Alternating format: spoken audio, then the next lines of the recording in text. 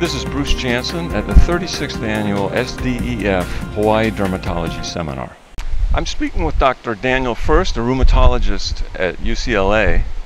Dr. Furst, um, uh, a dermatologist has been working with a psoriasis patient for some time, and this patient comes in with new joint pain.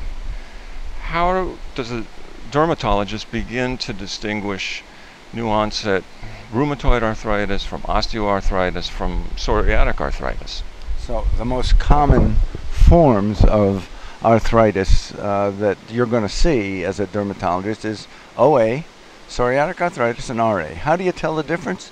It's really fairly simple. One, the distribution of joints. Um, in psoriatic arthritis, you won't get metacarpal phalangeal joint involvement. So in OA, the CMC joint is frequently involved and it helps you separate OA from other diseases.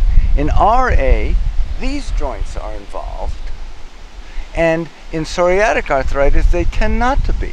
So if you have a patient with this involvement, you think of RA. If you have a patient with this involvement, you think more of psoriatic arthritis.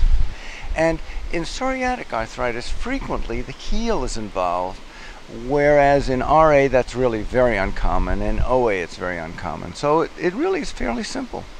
There's one other thing you should look for, and that is whether there's swelling and redness of the joints. Obviously with redness and swelling there's inflammation. And with OA there's frequently not inflammation, and so it won't be red and swollen. In psoriatic arthritis and RA there tends to be inflammation.